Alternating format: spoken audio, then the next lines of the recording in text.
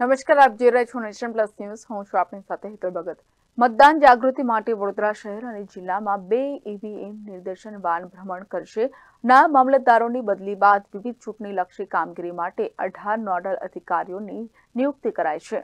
આગામી લોકસભાની સામાન્ય ચૂંટણીમાં મતદારો ઉત્સાહપૂર્વક ભાગ લે અને ઇલેક્ટ્રોનિક વોટિંગ મશીન અંગે જાગૃતિ પ્રસરે. એ માટે વડોદરા જિલ્લા ચૂંટણી તંત્ર દ્વારા બે રથ શહેર અને જિલ્લામાં પરિભ્રમણ કરશે. આ બંને રથોને જિલ્લા ચૂંટણી અધિકારી અતુલ ગોર દ્વારા લીલી ઝંડી આપીને પ્રસ્થાન કરાવવામાં આવ્યું હતું. લોકસભાની ચૂંટણી મુક્ત અને ન્યાયી રીતે યોજાય એ માટે વડોદરા જિલ્લા ચૂંટણી તંત્ર દ્વારા તૈયારીઓ કરવામાં આવી રહી છે.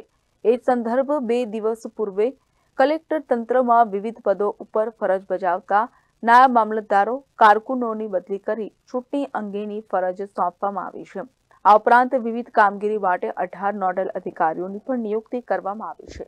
મતદાર યાદી સુધારણા કામગીરી પણ સતત ચાલી રહી છે. વહીવટી તંત્રની તૈયારીઓ સાથે મતદારો પણ જાગૃત થાય એ માટે પણ વિવિધ કાર્યક્રમો યોજવામાં આવી રહ્યા છે. જિલ્લા ચૂંટણી અધિકારી અને કલેક્ટર અતુલ ગૌરે ઈવીએમ લાઈવ ડેમોન્સ્ટ્રેશન તથા ઓડિયો વિઝ્યુઅલ વ્યવસ્થાએ સજ્જ